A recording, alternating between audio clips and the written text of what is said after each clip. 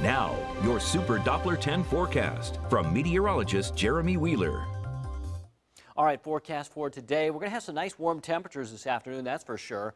But we're also going to have a few showers and storms developing out there, even a couple of strong storms possible. We'll have breezy winds. Look at the gusts up to 30 miles an hour, so keep that in mind. Tomorrow will be cooler, drier, highs in the low 60s, and then we'll have some showers and storms developing late Thursday into Thursday night and Friday.